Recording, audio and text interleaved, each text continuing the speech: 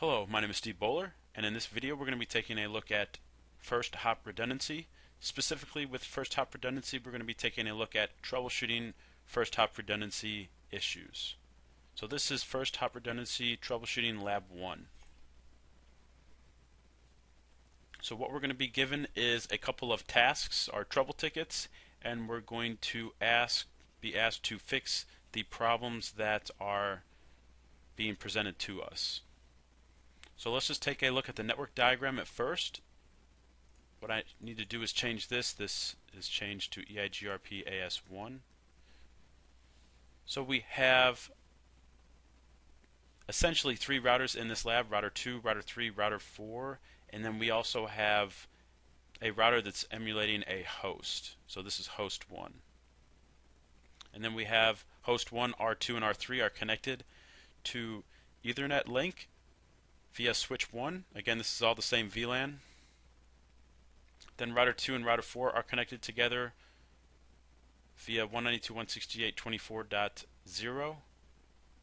Again, if we look at router 4, that's serial 00 on R4 and serial 00 on R2.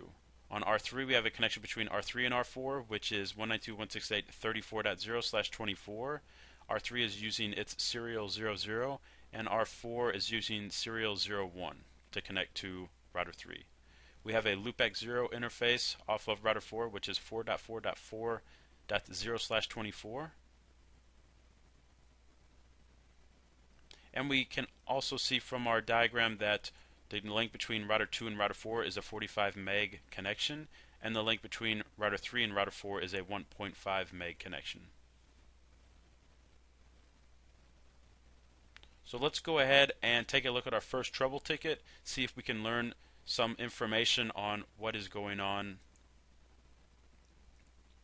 Again, this is first hop redundancy troubleshooting lab 1.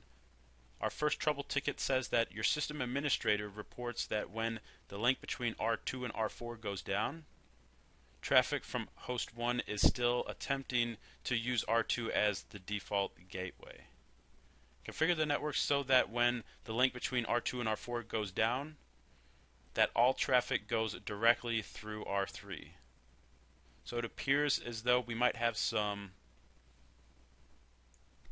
so it appears as though again we, we could be looking at some suboptimal routing going on right now with our network again as the ticket says that the link between R2 and R4 again this is the 45 meg link Again, this is the preferred link in this network.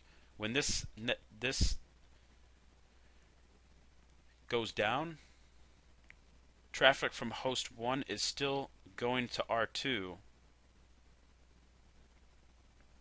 So if we read it again,